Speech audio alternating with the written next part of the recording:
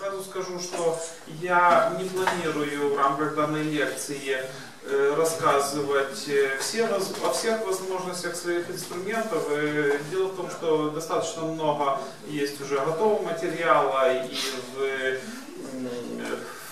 документация которая доступна в интернете вместе с э, прибором, э, для которого я разрабатываю алгоритмы, то есть вместе с автоскопом документация.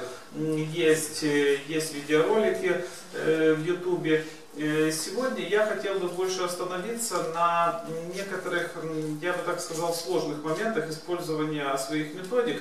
Э, Периодически возникают кое-какие сложные ситуации, э, которые не совсем полно может раскрыты в документации, и очень часто с такими вопросами ко мне обращаются, и приходится как бы каждому э, объяснять способы выхода из таких сложных ситуаций. Поэтому я э, сегодня буквально так вкратце затрону основную идею э, своих методик и сразу перейду к э, сложным вопросам. То есть кому будет этой информации недостаточно, сможет эту информацию найти уже на просторах интернета. Чтобы не занимать очень много вашего времени. Тем более много есть людей, которые уже, скажем, много лет э, знакомы с методиками и нет смысла им еще раз это все разжевывать. Я сегодня лекцию построю в виде рассматривания э, конкретных э, примеров. То есть э, э, презентации не будет. Хорошо, значит, э, подряд начинаю открывать э, Вкратце скажу. Значит, э, в данном случае у нас записана осциллограмма согласно методике CSS. Данная методика позволяет э, записать сигнал с датчика коленвала, а также сигнал синхронизации. Э, Для бензиновых машин это у нас сигнал на искру одного из цилиндров. Для дизельных это, как правило, сигнал на форсунку.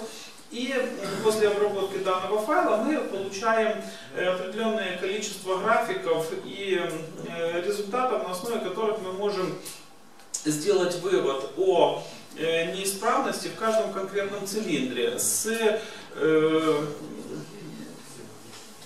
с указанием наиболее вероятной причины. То есть скрипт позволяет разделять для бензиновых двигателей э, три направления э, неисправностей. Это у нас э, механика двигателя, это у нас система зажигания, либо э, топливная система. То есть при помощи скрипта в течение одной минуты, так условно, мы можем поставить диагноз, в каком э, цилиндре у нас там низкая компрессия, в каком цилиндре не работает искра э, или свеча, или катушка там, и в каком цилиндре у нас есть проблемы с топливной смесью, то есть, например, забиты э, форсунки. То есть, вот я вам приведу пример. Э, Записана была осциллограмма с автомобиля 21099, м, сигнал датчика коленвала и сигнал на э, сигнал с катушки зажигания на искру первого цилиндра. После выполнения скрипта CSS мы получаем... А, сейчас, сейчас, секундочку, давайте я тогда прокомментирую у нас окно конфигурации, в котором мы указываем, какой канал датчика коленвала, где у нас сигнал синхронизации. Вкладку фазу э, сегодня рассмотрим более детально позже. Э, Указывается тип двигателя, бензиновый, дизельный. Э, Скрипт работает с двухтактными двигателями и даже с э, двигателем э, роторно-поршневым, с двигателем Ванкеля, если у кого э, такой попадется в ремонт. Указывается порядок работы цилиндров и по какому цилиндру у нас вы- выполнялась синхронизация. В данном случае по первому. Э, Здесь еще также указывается параметр усредненный начальный угол э, опережения. Э, Чуть позже я сейчас вернусь к этому вопросу. И этот параметр вызывает достаточно много вопросов. Я постараюсь детальнее его рассмотреть и рассказать. После нажатия кнопочки ОК у нас появляется набор из э, нескольких вкладок, на которых отображаются графики. График эффективности у нас э, на котором отображается эффективность работы каждого цилиндра на разных этапах э, измерения. То есть для простоты понимания у нас отображается график э, серого или черного цвета, это у нас график оборотов, который позволяет нам понимать, в каком режиме работал двигатель. То есть у нас двигатель работал несколько секунд в режиме холостого хода, дальше обороты поднялись, то есть плавным нажатием на газ, отпускаем газ, обороты падают до холостых, нажимаем полный газ, после набора оборотов выключаем зажигание, не отпуская э, педали акселератора. То есть очень важный момент. Э, значит, в, в этот момент двигатель вращается без воспламенения, нет искры, как правило, нет топлива. У нас э, в процессе вращения двигатель набирает воздух, сжимает его и таким образом э, сжатый воздух создает небольшой толчок. Этот толчок и вызывает, э, скажем, повышение эффективности работы двигателя, э, конкретного цилиндра. Если у нас про проблема с компрессией, тогда мы на э, вот этом последнем участке видим, что график данного цилиндра опускается ниже. Мы ставим диагноз, что у нас здесь есть проблема с компрессией в данном цилиндре. Э, проблемы с с топливной системой, э, как правило, э, хорошо наблюдается в данном, э, на данном участке. То есть при плавном нажатии на газ, если у нас какая-то форсунка имеет ниже производительность, чем в других цилиндрах, соответственно и эффективность данного цилиндра становится ниже. То есть таким образом мы можем заподозрить проблемы с смесью для данного цилиндра. Если у нас есть проблемы с искрообразованием, тогда график э, получается э, достаточно интересного вида. У нас э, эффективность меняется скачкообразно. То есть если воспламенение все-таки произошло, тогда у нас эффективность данного цилиндра будет соизмерима с другими. Если не произошло, у нас эффективность падает ниже вот этой вот черной оси. То есть таким образом резкие скачкообразные переходы графика э, дают э, нам основание э, подозревать систему зажигания для данного цилиндра. Данная методика применима и для диагностики дизельных двигателей.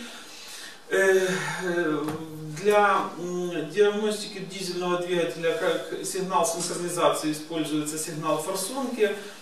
Э, теоретически, э, ну даже не теоретически, в принципе практически можно использовать э, данный инструмент для диагностики и механических дизелей. Там сложнее немножечко с сигналом синхронизации. Если у нас есть датчик движения иглы, мы можем использовать датчик движения иглы в форсунке, указывая при запуске скрипта, по какому цилиндру у нас была указана синхронизация. Как вариант можно использовать пьезодатчик датчики на трубку, но такие датчики достаточно дорогие, они достаточно нежные, и, скажем так, поскольку перспективы использования простых дизельных систем с каждым днем уже, скажем так, э, менее радужные, то и оборудование закупать очень дорогое для диагностики этих систем.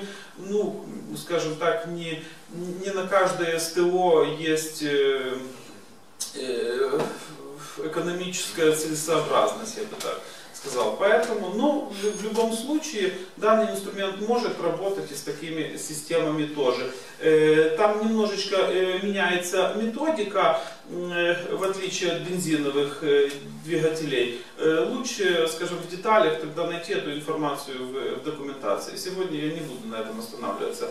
Значит, здесь мы получаем график опережения зажигания, то есть мы понимаем в относительной форме, то есть я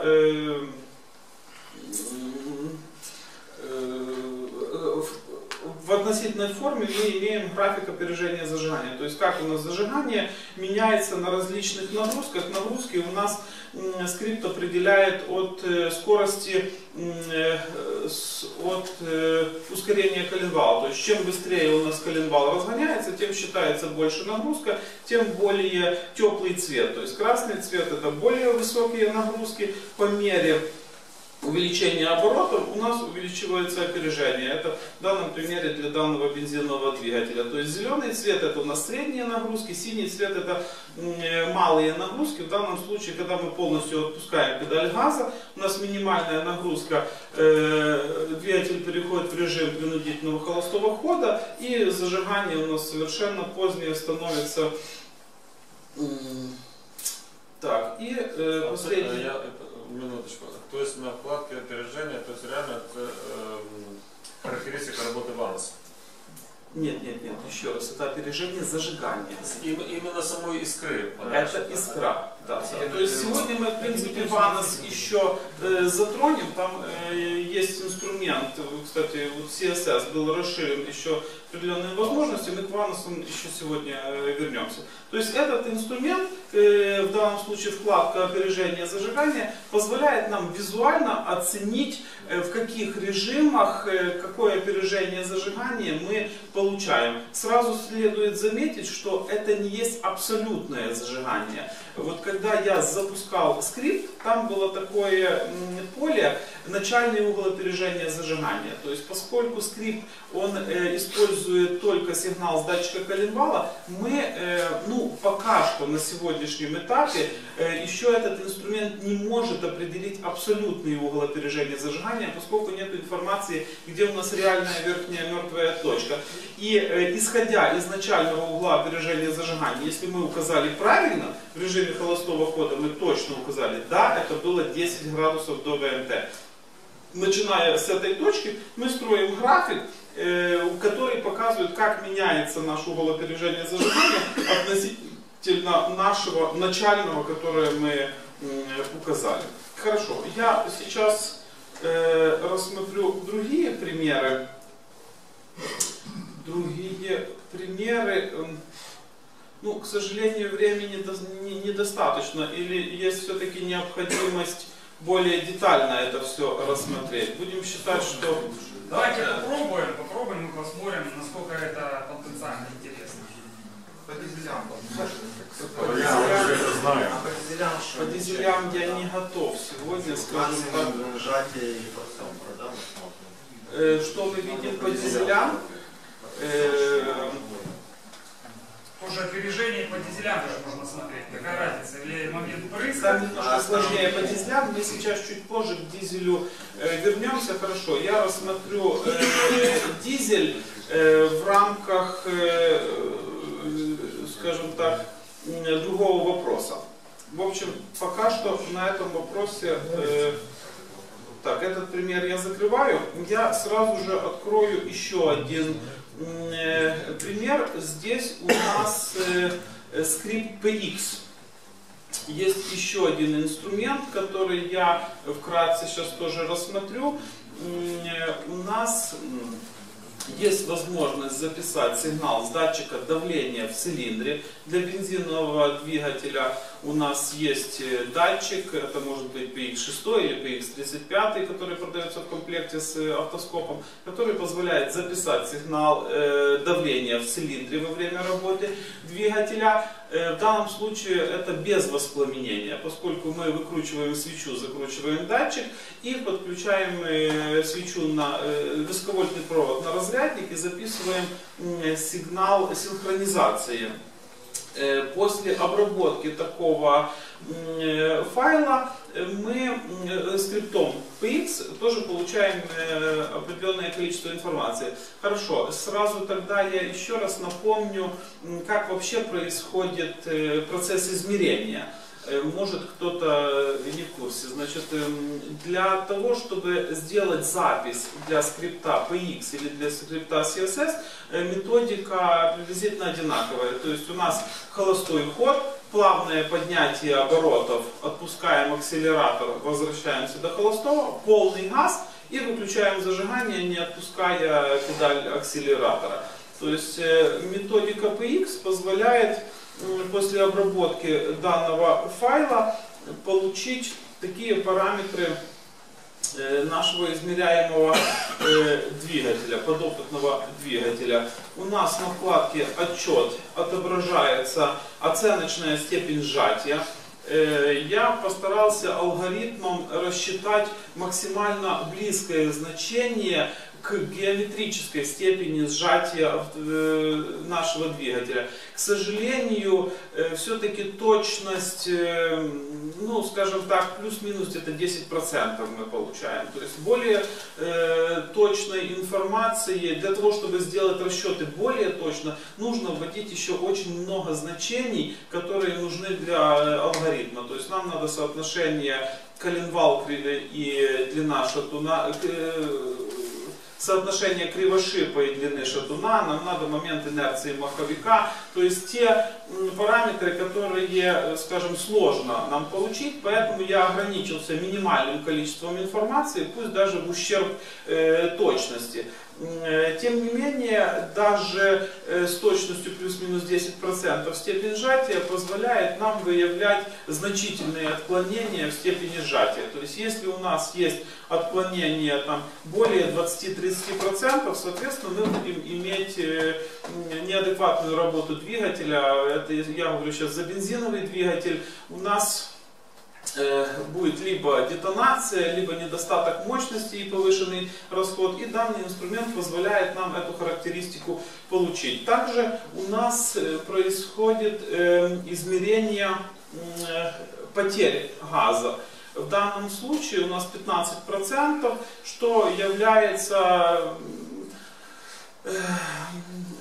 допустимой нормой у нас приблизительно где-то от 13 до 18 процентов это нормальные потери, э, в отличие от э, компрессии, которая э, на разных двигателях с разной степенью сжатия у нас она может меняться там нормальная компрессия, там, скажем так, от 9 до 13, то э, потери у нас достаточно стабильны для исправных двигателей. По мере износа мы получаем повышенные потери порядка там 20-25%. Это уже снижает эффективность работы двигателя в режиме холостого хода. Выше 30% э, данный цилиндр перестает работать в режиме холостого хода, выше 50 уже он не работает даже на э, средних нагрузках. То есть эта шкала достаточно стабильная и в отличие от замера компрессии компрессометром, э, данное измерение происходит непосредственно в процессе работы двигателя, э, поскольку некоторые неисправности могут проявлять себя только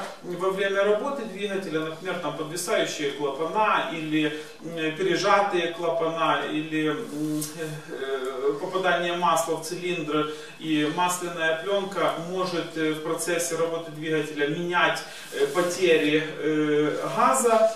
Данная методика более точно дает нам оценку состояния двигателя, чем замер компрессии компрессометром. Следующая вкладка у нас количество. В данном случае мы можем видеть несколько характерных точек, Э, которые позволяют нам определять э, фазы газораспределения. Я не буду сейчас в деталях рассматривать, как эта э, вкладка настроится, какие процессы здесь отображаются. Я только укажу две характерные точки, на которые следует обращать внимание, поскольку последнее время я уже больше работаю с таким видом отображения э, количества. Э, э, данный формат у нас, скажем так, поддержка старых версий скриптов. То есть изначально у нас отображалось в данном виде. У нас есть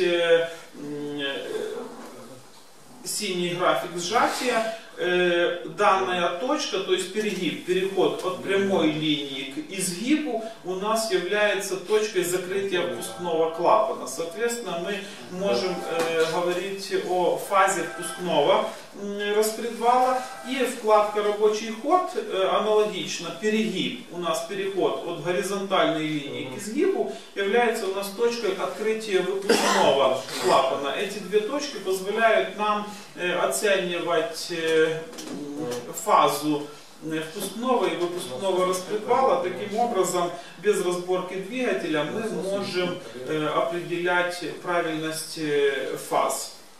Э, Данное представление, э, ну, как на мой взгляд, более удобно. Здесь мы видим, что у нас полный цикл работы двигателя является у нас два оборота коленвала. И у нас э, получается, если у нас вращение по часовой стрелке, значит расстояние от графика до центра показывает нам количество газа в цилиндре. То есть в данном случае у нас происходит процесс сжатия, процессе сжатия количество газа практически не меняется. Меняется давление, температура, но количество молекул должно быть постоянное. То есть мы эти молекулы сжали, разжали, то есть расстояние от центра графика не меняется до голубой линии. То есть вот в данном случае мы его сжимаем до верхней мертвой точки, потом в процессе рабочего хода разжимаем, поскольку воспламенение не произошло, количество газа в цилиндре не поменялось до момента открытия выпускного клапана. После открытия выпускного клапана выхлопные газы попадают у нас в цилиндр, у нас количество газа увеличивается, то есть вот эта точка открытия выпускного клапана. В действительности графики были достаточно, скажем так, достаточно больших значений, э, и мне пришлось их э, слегка обрезать, поскольку там интересной для меня информации не было. То есть вот эта часть графика у нас обрезана. То есть график выглядит достаточно большим и информации я там интересной не нашел. В процессе выпуска у нас поршень движется вверх, выбрасывает с цилиндра газы, в данном случае у нас уменьшается количество газов, то есть доходит до вот этой точки, где у нас количество газа вот такое вот. Э, открывается впускной клапан и происходит у нас э, впуск наполнения цилиндра э, за счет э, газов, которые поступают через спускной клапан спускного э, коллектора. После прохождения нижней мертвой точки, вот в этой точке, где у нас переход графика идет уже к дугообразному виду, у нас в этой точке происходит закрытие впускного клапана и количество газов опять перестает э, изменяться. Ну, почти не изменяется. То есть, если мы рассмотрим график сжатия и рабочий ход, мы видим, что у нас количество газа было в данной точке чуть-чуть больше.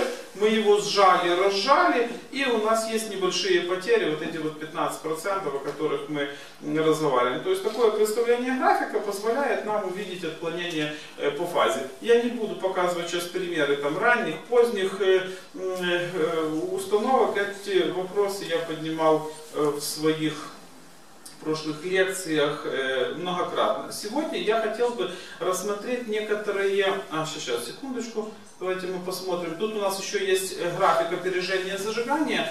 Данный график, в отличие от графика в скрипте CSS, является абсолютным. Поскольку есть датчик давления в цилиндре, мы точно видим, где у нас верхняя мертвая точка. И таким образом мы можем уже строить абсолютный график опережения зажигания, то есть точно знать, где у нас э, момент искрообразования, на каких режимах. Те же цвета, большая нагрузка, средняя нагрузка, малая нагрузка, а также есть зоны. То есть вот эта вот розовая зона видно или не очень хорошо видно. То есть есть у нас здесь небольшая розовая зона и сюда вот зеленая. Не очень хорошо, конечно, видно наш проектор не, не совсем качественно отображает. Зоны, да, да, зоны, где, скажем, желательно нам наблюдать наши графики. То есть, где должен размещаться красный, где должен быть э, зеленый. Значит, Вкладка «Впуск» показывает, какое количество, какая степень наполнения цилиндра на каком режиме у нас происходит. И вкладка «Выпуск» показывает, какое сопротивление выхлопной системы. Не буду на них сейчас останавливаться детально, чуть позже я пару примеров вам покажу. Давайте тогда перейдем к рассмотрению некоторых примеров, более сложных. Тут я все-таки сделаю некоторый диалог. Сейчас с залом. Вот приведу вам первый пример, у которого очень плохая была работа. То есть двигатель сильно трусило. Соответственно, первым делом я сделал скрипт CSS, получил вот такой график работы нашего двигателя. То есть мы видим очень нестабильная работа в режиме холостого хода, нестабильная, оборота на, част- э, нестабильная работа на частичных нагрузках. Вот я несколько раз газовал, потом пробовал его э, глушить. Э, сразу скажу, э, я настоятельно рекомендую использовать два инструмента в паре, то есть IPX и CSS. В паре очень хорошо эти два инструмента работают. То есть ту информацию, которую мы не можем получить по CSS, мы получаем по PX, та, которая э, у нас есть по PX, мы ее очень хорошо дополняем э, CSS. То есть я сделал э, сразу же два э, два замера. Этот я даже не закрываю. И сделал PX. PX. Выполняю. Выполняю. И сейчас попробуем разобраться с данным примером. И я его прокомментирую, сделаю некоторые выводы. Так. Степень сжатия 10,3, вроде бы как бы допустимо для двигателя. Э, 14% э, потери, то есть это хороший показатель. Э, Количество, ну, э, графики искажены э, немножко из-за того, что двигатель не работает, скажем, в э, стабильном режиме холостого э, хода. Но тем не менее мы видим, что фазы выпускного вала более-менее э, у нас на месте. Впускной чуть сложнее видно, но тоже в принципе сильного отклонения нету. Так. Еще раз. Наполненность где? наполненность, впуск. Вот у нас наполнение нашего цилиндра. В принципе, что мы можем сделать вывод о наполнении? Ну, не очень аж хорошее наполнение на высоких оборотах, то есть, скажем так, на уровне карбюраторных или не очень хорошо настроенных с завода э, бензиновых моделей. Ну, вообще-то это китайский автомобиль факт, что в принципе тут, скажем, ничего такого вопиющего я не вижу. Единственное наполнение на, э, в режиме холостого, то есть желательно, чтобы у нас было где-то в этом квадратике, здесь у нас немножко повышенное наполнение в режиме холостого хода. По выпуску у нас нету проблем, нету проблем, а, а тут как вам такое уголопережение зажигания? Дело в том, что э, э, скрипт PX показывает абсолютные уголопережение зажигания. Если мы сейчас перейдем э, к скрипту, э, э, так, так, так, ох, ох, сколько я тут пооткрывал, э, к скрипту CSS. То есть в данном случае CSS нарисовал, что вроде бы зажигание у нас правильное. Но дело в том, что поскольку во время запуска, в момент запуска скрипта CSS я ему указал, что усредненный начальный угол опережения 10 градусов, скрипт не смог правильно обработать нам всю эту информацию. То есть очень желательно нам получать информацию из скрипта PX. Мы видим, что в режиме холостого хода у нас 70 градусов опережения зажигания. То есть и таким образом, если мы эту информацию введем в скрипт CSS, то есть начальный угол опережения 70 градусов и выполним скрипт, тогда мы получим правильный, правильные осциллограммы и мы получим правильную цифру, исходя из заданного начального угла опережения зажигания, ВМТ цилиндра совпадает с зубом номер 30. То есть правильное значение для львиной доли бошевских систем это у нас 20 градусов, 20 зубов после ВМТ. В данном случае мы имеем 30. То есть был неправильно установлен маховик в процессе ремонта двигателя. Из-за этого мы получили очень нестабильную работу, ну, соответственно, неадекватную работу двигателя. То есть, какой можно сделать вывод? Для того, чтобы скрипт CSS указал, сделал правильный расчет количества зубов до ВМТ, то есть положение м, э, маркерного диска, нам обязательно Покажите маркерный диск. Маркерный диск, вот в данном случае, вот он фактически у нас разместился, то есть у нас э, правильное размещение э, в, дан, э, в данном месте у нас должно быть пропуск зуб, э, зубьев, когда у нас ВМТ первого цилиндра, у нас 60 градусов был неправильно установленный зубчатый э, венец вместе с маховиком. Таким образом, вот эта цифра, которую мы получаем на вкладке отчет скрипта CSS, напрямую зависит от начального угла опережения, который мы указываем. Напрямую зависит вот от этой цифры, которую мы указываем. Если мы эту цифру укажем неправильно, скрипт нам не выдаст точной цифры, сколько у нас э, зубов. То есть скрученный зубчатый венец скриптом CSS мы определить в данный момент еще не можем. У меня есть какие-то идеи, мы пробуем реализовать это в алгоритме, но, к сожалению, на сегодняшний день это э, такая неисправность ищется только в паре использования двух э, скриптов. При помощи px мы смотрим, где у нас начальный угол опережения и вообще мы делаем оценку. Где цифра? Где цифра? Теперь CSS угол зажигания. Как померить? Значит, для того, чтобы определить угол опережения, начальный угол опережения зажигания, мы можем по графику в данном случае вот, указать. То есть в среднем у нас угол опережения зажигания в режиме холостого хода порядка 70 градусов. Мы можем, конечно, маркер сюда затянуть и видим. То есть 60, 70, а, не, 69, 66, 69 э, градусов. То есть вот эту цифру мы можем указывать э, в скрипте CSS. То есть, например, так, 65 градусов. Окей. И тогда мы получим... Уже 29 задаем.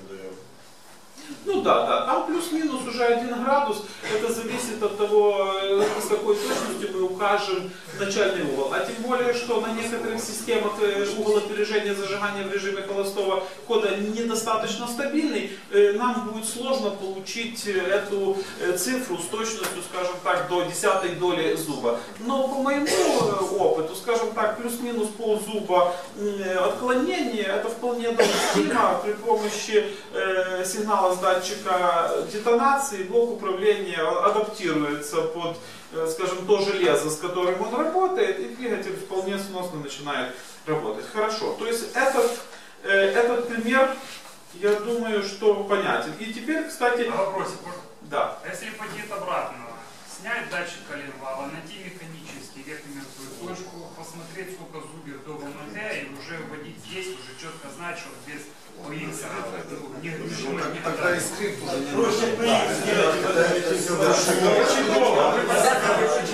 Сама идея вот этих всех методик в том, чтобы мы в течение двух минут получили степень сжатия, потери, проверку по всем цилиндрам форсунок, компрессий, свечей и э, скрученный зубчатый венец, забыт- забитую выхлопную, недостаточное наполнение. Мы это все можем сделать механически. Но на каждой машине, которая приходит, если мы это все будем разбирать, мы и степень сжатия можем померить вручную. Сколько там разобрать двигатель, взять, померить это все линейкой. То есть идея, сама идея методики в том, чтобы мы в течение двух минут получили вот столько параметров, пусть они не есть абсолютно точные, но эта информация нам для размышления. Да, когда я уже вижу, что у меня не точно установленный зубчатый венец, тогда я уже снимаю коробку, разбираю, проверяю. Может, это тоже информация. Может, у меня степень сжатия, например, там я ошибся в единичку. То есть, если я вижу, что у меня, например, степень сжатия, я знаю, для такого типа моторов плюс-минус должна быть десятка там. Мне показывает 11. Но я смотрю, как ведет себя двигатель. То есть, если он не детонирует, если он ведет себя нормально, ну все, значит ему нормально. Если он мне скрипт показывает степень сжатия, например, там 14, и я вижу, что реально двигатель детонирует, он даже на 98-м бензине работать нормально не может. Тем более я еще дополнительную информацию у клиента получаю. Головку меняли, что вы там делали, может шлифовали. То есть фактически это только, э, скажем, скрипты я не рассматриваю как э, окончательный диагноз. Это направление, в котором дальше нам нужно искать информацию. Просто очень большое количество направлений. Каждое направление механически проверить, мы можем возле этой машины неделю сидеть. То есть задача снять э, за две минуты основные параметры и дальше распланировать свою работу, в каком направлении мы в первую очередь будем проводить проверки для устранения нашей неисправности. Ну, это касаемо бензинового двигателя, там где свечечка вот выкрутил, закрутил. А касаемо дизельных двигателей, Дизельные чуть-чуть. Возможно, был функционал такой, что нам проще залезть, вытащить датчик коленвала на ТВМТ, Вася крути, я считаю, посчитали все эти параметры и уже исключили именно этот PX, именно вот этот э, параметр, да. А мы уже четко уже знаем, что там как Владимир расположено, видим все остальные процессы. Дизельные двигатели чуть позже мы затронем. Там глубоко сейчас я тоже не буду рассказывать диагностику дизельных. Ну, посмотрим по времени. Может, некоторые вопросы все-таки затронем. Датчик раздражения воздуха.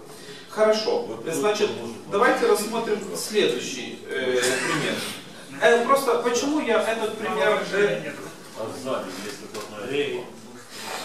Это вы имеете в виду Да. преодоление Да. Э, Значит, почему я рассмотрел данный пример? Еще раз подведу, сделаю вывод с данного примера. То есть скрипт CSS э, рассчитывает э, позицию зубчатого венца, исходя из того начального угла опережения зажигания, которое вы ввели. Очень часто мне задают вопрос, почему скрипт сказал, что там 20 зуб, а реально там 25 Потому что вы неправильно указали ему начальный угол опережения. То есть это очень важный момент, который надо понимать, э, дабы не, не завести себя, скажем, в глухой угол в процессе диагностики автомобиля. Идем дальше. Следующий э, вопрос, который достаточно часто мне задают. Э, вот я вам покажу пример турбированный Passat 1.8 турбо. Дело в том, что скрипт делает расчет потерь работы на э, выхлоп. То есть сколько энергии тратит двигатель на преодоление сопротивления выхлопной системы. Мы получаем график, э, э, график на вкладке «Выпуск», на который мы видим, э, э, превышают потери э, или не превышают э, допустимые. То есть на вкладке «Выпуск» у нас есть график, э, на котором на котором отображается э, наша допустимая зона, вот эта вот, скажем, красная. Значит, в данном случае скрипт нам показывает, что на данном автомобиле у нас есть большое сопротивление выхлопа. Но поскольку э, этот автомобиль э, с турбиной, э, в выпускном тракте у нас есть крыльчатка турбины. У нас выхлопные газы в любом случае упираются в данную крыльчатку, и это создает определенный подпор. Как нам от- отличить, это у нас подпор турбиной или это у нас подпор э, нашим катализатором. То есть в данном случае нам большую, э, по- э, большую помощь э, дает вкладка «Впуск».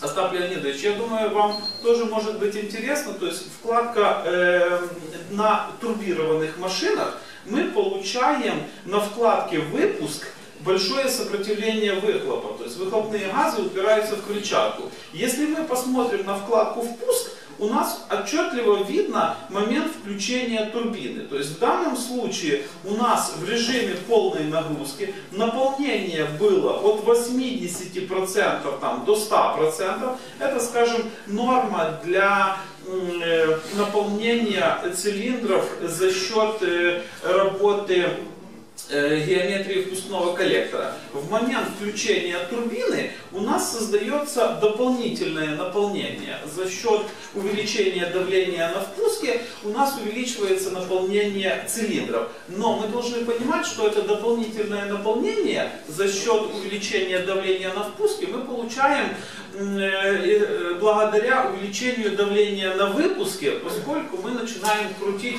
уже горячую крыльчатку. То есть в данном случае я вижу, что у меня после 4000 оборотов начинает работать турбина, и увеличивает наполнение на впуске. Соответственно, э, подпор выше 4000, я понимаю, что он связан у меня с работой турбины. И это допустимое. Если мы видим, второй, покажу пример, это тот же автомобиль до ремонта. Значит, если мы видим, что у нас э, турбина включается после 4, в данном случае даже после 4200, а вкладка выпуск нам показывает, что подпор у нас уже появляется значительно раньше, соответственно, мы имеем проблемы с выхлопной системой. То есть это не только сопротивление турбины, это еще и сопротивление выхлопной системы. Этот вопрос А, второе уже выкинули как, да? Ну да, да, да. То есть вот это у нас до ремонта э, выглядели так графики, а так у нас выглядят графики э, после ремонта. Так. Вот, в данном случае, и в принципе тут даже э, косвенно еще на это показывает, что э, даже на частичных нагрузках мы получали уже достаточно большой подпор. Хотя на бензиновом двигателе при частичной нагрузке турбина, скажем так, очень мало участвует в наполнении э, цилиндра. То есть э, в данном случае выше 4200 мы получаем подпор. Раньше он для нас незначительный. Э, на этом примере мы видим, что дополнительно к нашей турбине там есть еще какое-то сопротивление у нас на выпуске. Хорошо. Катализатор были? Ну да. Ну да. Как вырезали. Да. Другого выхода. Хотя э, Замена. э, дело в том, что я, иногда проходит вариант, то есть э, на бензиновых двигателях мы пробовали, скажем, если его можно снять, добраться до э, самого керамического элемента, бывает э, он у нас забит э, э, такими отложениями, это, я, это не сажа, скорее всего это у нас зола. То есть механическое удаление на входе э, керамической сетки вот этих э, отложений позволяет ему дальше работать. То есть он просто за- его залепило. Я так понимаю, это все-таки скорее причина в том, что э, поступает масло из двигателя и догорает у нас непосредственно э, на поверхности нашего катализатора. То есть и создается слой, который э, создает сопротивление. То есть я э, очень, скажем так, неохотно удаляю катализаторы, то есть я стараюсь до последнего хоть с сожевиком бороться, хоть с катализатором, но, к сожалению, Ничто не вечно, то есть рано или поздно все равно приходится э, данную систему удалять и по-другому не получается. Хорошо. Следующий пример. Ага. Э, Также э, много вопросов я получаю, как бороться с автомобилем, который не запускается. Дело в том, что скрипт PX и CSS предусматривает работу двигателя хотя бы в режиме холостого хода. В любом случае двигатель должен работать в режиме холостого хода и хотя бы немножко мы можем э, поднять обороты. Иначе методика не работает. Но если мы имеем значительное отклонение по установке фаз, э, двигатель не сможет запуститься. Для дизельного двигателя в большинстве случаев эта проблема э, более простая. Там у нас два э, зуба неправильно установленный распредвал, как правило, приводит к встрече клапанов, э, поршня и клапана. И э, скорее всего это приведет к ремонту нашего двигателя. А на бензиновых двигателях достаточно частая ситуация, когда у нас э, распредвал э, смещен на 3, 4, 5 зубьев и даже больше. То есть как при помощи диагностического оборудования быстро определить такую ситуацию. Тем более, что, э, как показывает практика, далеко не всегда метки на двигателе соответствуют реальной ситуации в данном двигателе. То есть методика позволяет нам увидеть реально физические процессы, происходящие в двигателе. А метка, к сожалению, по разным причинам может не соответствовать реальной ситуации реальной установки нашего вала. Тем более на современных сейчас машинах сплошь и рядом встречаются уже пустотелые распредвалы с напрессованными кулачками, когда кулачок может сдвинуться, фактически изменив фазу в данном цилиндре, при том, что все метки на нашем двигателе э, установлены правильно. То есть вот я вам приду, приведу один пример. Записана осциллограмма с двигателя, который не запускается. Э, э, Сразу могу вам сказать, что для бензинового двигателя э, на основе моего опыта ошибка в установке распредвала э, один зуб это всегда заводится наш двигатель. Два зуба мы можем иметь, скажем так, затруднения в запуске, ощутимые потери мощности, но такой двигатель заводится. Даже при трех зубьях в большинстве случаев двигатель заводится. Бывает, что три зуба установки распредвала уже двигатель не, не- не заводится. Э, говоря про три зуба, значит, я, скажем, подразумеваю э, э, наиболее распространенный размер шестерни распредвала. Дело в том, что если мы рассмотрим там вазы, э, львиную долю фольксвагенов с э, ременным приводом, у нас размер э, звездочки на коленвале и на распредвале более-менее соизмеримый. И один зуб э, установки распредвала дает нам ошибку порядка где-то 15 градусов в, э, в установке распредвала.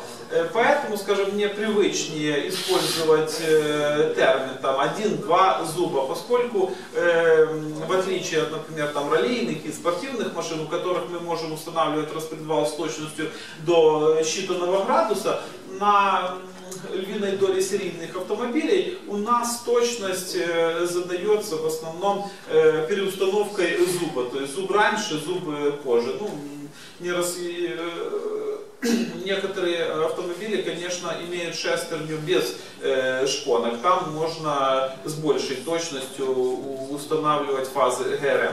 То есть вот на данном примере у нас э, э, отображается попытка запуска двигателя и э, в связи с тем, что у нас очень большое отклонение по установке фаз ГРМ, запуск э, не происходит, то есть запуск неудачный. А с зажиганием что у нас здесь почему? Э, вот сейчас я э, вручную вам покажу, как я выполняю э, проверку фаз газораспределения, когда я не могу запустить скрипт PX. То есть он, э, скрипт PX позволяет мне увидеть, в какую сторону, на сколько градусов или даже на сколько э, зубьев неправильно у нас установлен ремень газораспределения, ну или цепь, если там цепной привод. В данном случае э, у нас очень большое отклонение. Для того, чтобы выполнить э, вручную э, проверку фаз, я устанавливаю два маркера. То есть один маркер я устанавливаю на э, пик давления первый, второй маркер, маркер B устанавливаю на второй пик. Для этого я использую комбинацию клавиш. То есть у нас Shift, щелчок позволяет у нас установить первый маркер, либо мы мышкой его можем передвинуть, установить на э, первый пик. И Ctrl щелчок, это у нас устанавливаем мы второй маркер, мы его также можем сдвинуть для того, чтобы более точно попасть в позицию. Если мы э, нажмем вот этот квадратик, мы установим хрестик. Таким образом, э, если мы будем перемещать наш э, нашу осциллограмму, у нас маркер жестко закреплен к позиции осциллограммы. Мы можем ее масштабировать, э, приближать, э, передвигать, и маркеры наши не движутся. То есть в данном случае я могу более точно установить нас- наш маркер, то есть с точностью там до, м, э, до, мин- до градуса. Э, Shift стрелочка влево-вправо или перемещение мышкой мы установили первый маркер. Смотрим второй маркер. Вот наш маркер B. Ставим его точно в позицию верхней мертвой точки. Ну вот. Вот так выглядит наш выглядит наша осциллограмма с правильно установленными маркерами. Четырехтактный двигатель, это у нас два оборота коленвала, полный цикл, 720 градусов.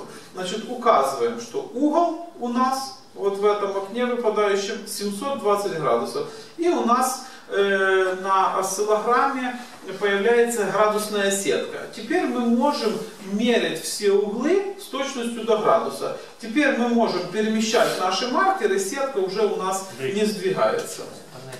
Можно задвинуть панель, она сама натянет. Панель на... Да? Ну, я, я вам покажу вручную, сейчас Женя подсказывает, есть еще э, одна возможность. То есть, э, таким способом я установил в начальную позицию, то есть, вот у нас э, видно, где у нас закрытие э, впускного клапана. То есть, в этой точке, в этой точке, м, до, э, до этой точки давление не менялось, поскольку поршня двигается, если у нас клапана закрыты, то давление должно меняться. Раз давление не меняется, значит какой-то клапан открытый. То есть в данном случае у нас впускной клапан закрывается и начинается процесс сжатия. Проходим верхнюю мертвую точку, идет рабочий ход и открытие выпускного э, клапана. То есть эта точка у нас находится на м, 57 градусов раньше от верхней мертвой э, точки цилиндра. И э, аналогично цифру мы можем получить о э, моменте открытия выпускного клапана. То есть данная точка находится на 207 градусов после верхней мертвой точки. Значит, львиная доля двигателей использует симметричные фазы. То есть фактически у нас до верхней мертвой точки угол, угол закрытия впускного клапана приблизительно соответствует э, количеству градусов, которые э, будет э, проходить коленвал наш до момента открытия выпускного клапана после ВМД. То есть вот эти вот две точки, они у нас должны быть приблизительно одинаковые, плюс-минус 5 градусов. То есть в данном случае у нас еще раз получается 67 градусов до верхней мертвой точки и 200 11 э, градусов после верхней мертвой точки. То есть явно видно перекос. То есть вот этот перекос и вызывает э, как бы, проблемы с работой нашей, нашего двигателя. Как нам сделать расчет, сколько нам надо переставить э, зубья в наш ремень? Значит, я нахожу какая разница. То есть тут у нас 210, там 57. Открываем калькулятор, смотрим, где, э, сколько у нас градусов э, перекос. То есть 210 минус 57 получаем 153 градуса. То есть фактически у нас э, со стороны выхлопа на 157 градусов больше, чем э, со стороны впуска. Нам нужно попасть в серединку. То есть нам надо разделить эти 153 градуса пополам. Делим на 2, на 2 получаем 76 градусов. Если мы знаем, что у нас порядка э, 15 градусов на один зуб, это порядка 5 зубов у нас получается неправильно установлен распредвал. То есть в данном случае нам ну давайте голосовать. Кто, за раньше, а кто за позже? Хорошо, а кто за позже? Поднимите портбилет. Если фаза меньше, то вперед. Если Вперед, больше, то назад. вперед крутили распредвал. То есть фактически э, у нас получается, значит, э, если ну, на- на многих у нас э, двигателях есть возможность, скажем так, снять ремень ГРМ, прокрутить распредвал и назад его поставить. Я ставлю метку, то есть используя корректор, где у меня были мои метки до э, разборки, потому что очень часто бывает, что в момент э, снятия ремня у меня у нас где-то прыгает или распредвал где-то, или это натяжной ролик э, нам э, нам э, делает э, медвежью услугу. То есть метки ставим до перестановки ремня и сразу же я помечаю, в какую позицию мне надо мой распредвал переставить. То есть я считаю, что э, ремень я не двигаю, я переставляю, как правило, только распредвал, поскольку он более доступный, скажем, на более простых двигателях, восьмиклапанные в большинстве случаев позволяют такую операцию сделать без полной э, разборки э, со стороны ремня ГРМ. В данном случае у нас э, распредвал, распредвал э, очень... Клапана работают поздно. Да, клапана работают поздно. Он должен, клапан должен был раньше открыться, он отк- э, закрыться, он закрылся поздно. Аналогично и выпускной клапан должен был раньше относительно ВМТ э, открыться, он закрылся по- поздно. Значит, нам распредвал надо раньше. То есть я смотрю, в какую сторону у нас э, вращается двигатель. Ну, в принципе, не попадалось мне двигателя, которые крутятся. Honda крутится против. У него коробка передач с другой. Ну, э, и, и крутится в другую сторону, да. Ну, скажем так, э, видно парк э, э, обслуживаемых автомобилей у меня э, практически все вращаются по, по часовой стрелке. Но в любом случае надо убедиться, что он вращается по часовой стрелке. Тогда мы снимаем ремень и распредвал на 5 зубов делаем раньше. То есть, Еще, у нас еще по часовой стрелке. По ходу, Э, по ходу э, движения. У нас получается двигатель вращается туда, и распредвал у нас, да, да, то есть для того, чтобы распредвал у нас раньше э, открылся, нам надо его докрутить еще по, по часовой стрелке. Так все-таки по часовой или против? Так, Хорошо, если распределить... Так, давайте, давайте опять голосуем. По часовой или против? По часовой. Кто больше?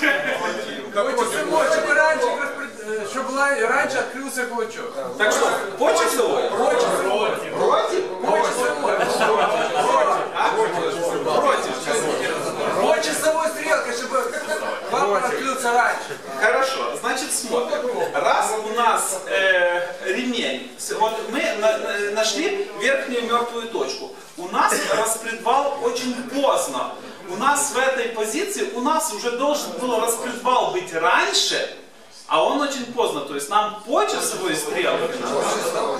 По часовой стрелке. По часовой стрелке крутим вперед. Да. Это То же трамплер. В этой позиции он уже опоздал. Он должен был в этой позиции быть намного раньше. То есть нам надо его дать вперед по часовой стрелке.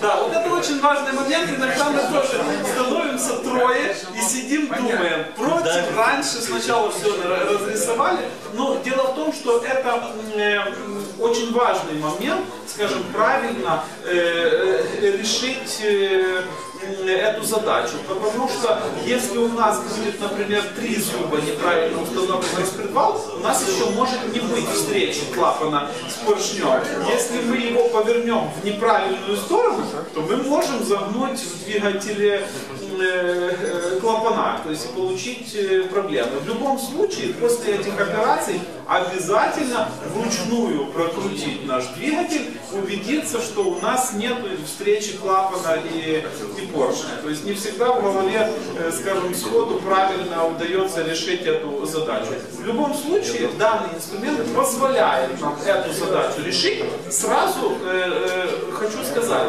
ошибка, как правило, всегда есть. То есть вот эти предварительные расчеты не позволяют нам точно получить э,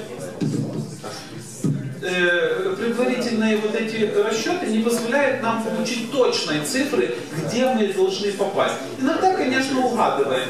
Э, вот еще раз скажу, что ошибка плюс-минус один, даже два зуба э, уже позволяет запустить наш двигатель и сделать проверку при помощи методики PX и по необходимости CSS и по- получить точную цифру, где у нас должна быть точная позиция нашего распредвала. Просто в момент прокрутки стартера у нас вращение коленвала неравномерное. То есть он вращается не гладко, а на осциллограмме мы подразумеваем, что двигатель крутится гладко. Из-за этого один, иногда даже два зуба мы можем э, сделать ошибку. Но тем не менее мы уже четко понимаем, в какую сторону нам надо двигаться для того, чтобы получить э, работу э, двигателя в режиме холостого хода. Панельку. Значит, Женя подсказывает, что у нас есть еще один инструмент, это у нас PX-панель. То есть, если мы э, запишем таким образом осциллограмму и откроем, так, ну, запускаем PX-панель, панелька не смогла найти очень маленький пик давления. Значит, мы должны поставить маркер здесь, поставить маркер здесь и на нашей панельке, на нашей панельке нажать вот эту ручку. Вот. И мы получили, э, мы получили сетку, получили ожидаемые зоны, где у нас должны находиться характерные точки. То есть где у нас должны находиться характерные точки. То есть в данной зоне должна быть точка открытия выпуска, она у нас позже сме- смещена. И в данной точке у нас должна находиться э, точка закрытия впускного клапана. Мы можем попробовать э, сделать оценку, сколько градусов. Так, мы получим так градусов? Да, вон справа фаза ПМ. 88 градусов. Ну, может чуть-чуть тут. тут. Ну, приблизительно, скажем, цифры соизмеримые. Плюс-минус. Да, порядка где-то 5 зубов в данном случае. Нам нужно распредвал позже или раньше? Хорошо. Так, все, тогда продолжим. Э, Вот приведу еще один интересный пример. Э, Данная методика позволяет э, определять э, сложно диагностируемую неисправность подвисания клапана. Э, Периодически э, сталкиваюсь я с такой ситуацией, когда у нас процессе работы двигателя может кратковременно пропадать компрессия там, по одному или нескольким э, цилиндрам. И э, словить такую неисправность при помощи к примеру, компрессометра практически не удается, поскольку после остановки двигателя, пока мы вкрутим компрессометр, пока попробуем прокрутить стартером, у нас в большинстве случаев клапан начинает уже двигаться нормально, и мы уже эту неисправность не видим. То есть эм, э, такие неисправности я пробую определять при помощи скрипта CSS.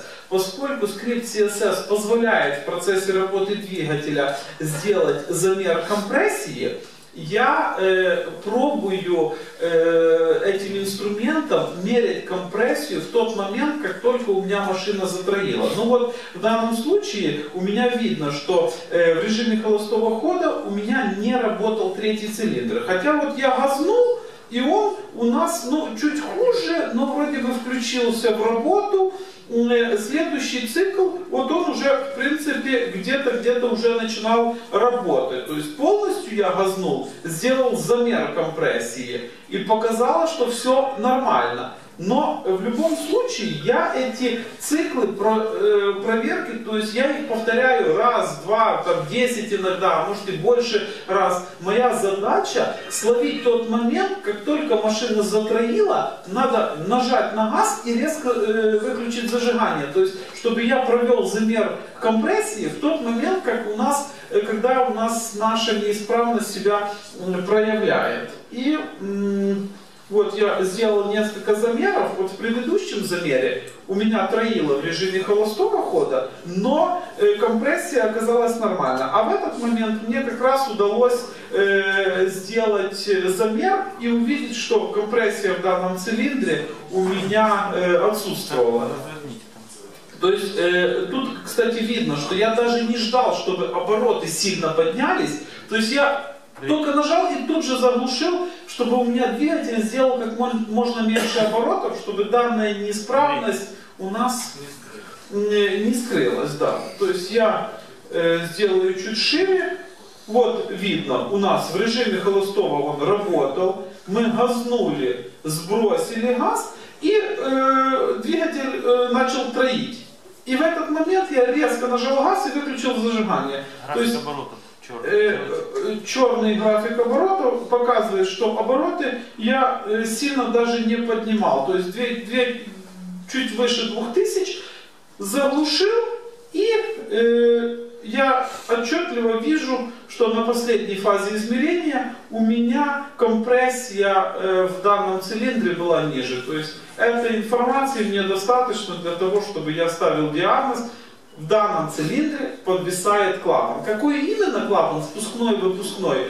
Ну, можно попробовать дополнительно еще сделать проверку при помощи э, э, датчика разряжения. Ну, затруднюсь я сказать, скажем, насколько успешно, тем более, если у нас 16-клапанная, у нас тогда два впускных, два выпускных, какой из них подвисает, это уже, скажем так, вопрос Э, более сложный. Но в любом случае для моториста я даю информацию. То есть вот в этом цилиндре один из клапанов подвисает. И уже при разборке двигателя с особенной тщательностью э, дефектуются все детали газораспределительного механизма по данному цилиндру. Вот таким способом удается неоднократно уже э, найти неисправности по Э, подвисанию э, клапанов. Ну, тут похоже, что у нас какая-то есть еще неисправность и с первым цилиндром. Возможно, форсунка. Э, ну, это меня как бы меньше интересовало. Основная задача была найти причину троения, периодического троения, в данном случае третьего цилиндра. Тут понятно? Да, да. Хорошо. Еще одна тут турбированная машина. Для примера, в принципе, надо было ее показать вместе с примером э, Passat. Э, в данном случае это э, пример из турбированной Нивы. Но здесь у нас был установлена не классическая турбина, турбонагнетатель, а механический компрессор с приводом от ремня генератора или дополнительного ремня, я уже не помню. То есть мы видим, что у нас на оборотах выше 3000 у нас начинает работать наш механический нагнетатель и дает неплохую, неплохую прибавку к наполнению цилиндра. То есть там порядка где-то 25% относительно наших, скажем, 100%, которые мы имеем на атмосферном двигателе. А по выпуску у нас никакого сопротивления не добавляется. То есть в данном случае у нас турбина использует энергию э, коленвала, а не энергию выхлопных газов, не создает дополнительный подпор выхлопных э, газов. То есть это так э, для отвлечения. Вот один тут пример я вам э, покажу. У нас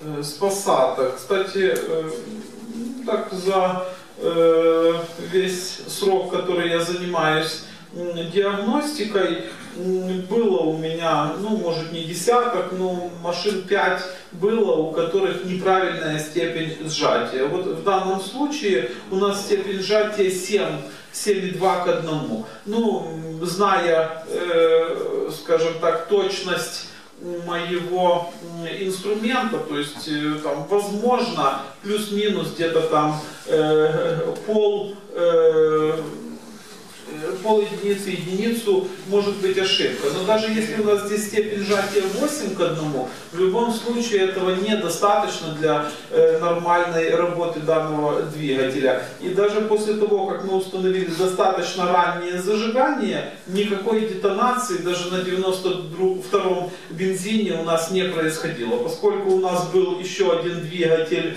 э, такой же двигатель, но исправный, то есть мы выкрутив свечу, замерили расстояние э, до э, поршня в верхней мертвой точке, замерили в этом двигателе четко было видно, что у нас там порядка где-то почти сантиметр не доходит до верхней мертвой точки. То есть мы даже попробовали сделать замер э, кривошипа. В данном случае был установлен в двигатель 1.8 распредвал от двигателя 1.6. То есть шатуны остались те же самые, коленвал от двигателя 1.6 имеет меньше кривизну кривошипа, соответственно, у данного двигателя уменьшилась и, э, и уменьшился и рабочий объем, и уменьшилась и степень сжатия. И мы получили значительные потери по мощности и потери по экономичности. То есть рекомендация была замена э, распредвала. Хотя, насколько я понял, Коленвала. Ой, коленвала, да, да, да, коленвал. я встречал, Коленвал. жалко не сохранил, в апелях я встречал поршня ниже. Вот все нормально, просто поршня поменяли. Понял. Поршня не То доходили. есть Как они собирали? рабочий объем э, сохранился, а степень сжатия поменялась. Поршень не доходил, там на 5 или на 7 миллиметров, не помню сколько. Да. Ну как собирали, не- непонятно. Ой, да, да, да. Э, Ну вот как-то Э, так. Хорошо. Еще один э, пример, который э, время от времени возникает ситуация. Я вам покажу, как правильно в данной ситуации, скажем, определить причину неправильной работы скрипта. Вот дизельная, дизельная Audi. Э, снимаем скрипт CSS. Э, и получаем вот такой график. То есть у нас неправильно э, отображаются графики, часть графика у нас потеряна. То есть вот здесь мы видим, у нас уже есть графики эффективности, графики оборотов, но первая часть не, э, не рассчитана правильно. Э, И, соответственно, графиков эффективности мы здесь не можем получить. Для того, чтобы выяснить, что стало причиной, э, по которой скрипт не смог обработать данный сигнал, я устанавливаю маркер вот в данную позицию. То есть получается, что у меня э, в 11,6 секунд на осциллограмме произошла какая-то, произошел какой-то сбой. И я могу рассмотреть свою осциллограмму в данной точке, выяснить, что у нас там произошло. Ну, мы можем даже ближе его рассмотреть, для того, чтобы понять где-то, где-то приблизительно вот здесь, 11.65. Переходим на осциллограмму и переходим в точку, вот здесь у нас, а, в принципе, э, да-да, это вот у нас тут отображается время. Это где э, участок экрана, э, время осциллограммы, которое отображается на экране, и маркер А, маркер Б в какой позиции стоит. Значит, у нас там было 11.60, да? Смотрим. 11.65. Ну, давайте чуть э, растянем. Чуть растянем. Тут что-то у нас уже начинает проявляться. 11.589. То есть уже есть какие-то искажения, но похоже, что это искажение было еще недостаточно для того, чтобы скрипт споткнулся. Чуть-чуть смотрим, что у нас дальше. Ну, э, вот, у нас есть разрывы, то есть, скорее всего, плохой контакт э, при подключении э, к нашему датчику. Э, Из-за плохого контакта у нас э, получилась потеря сигнала и, А соответственно, потеря ну, скорее всего, здесь. А ну, смотрим. Ну вот, да, 11.63. Вот этот участок вызвал у нас сбой в работе. Еще. Вот.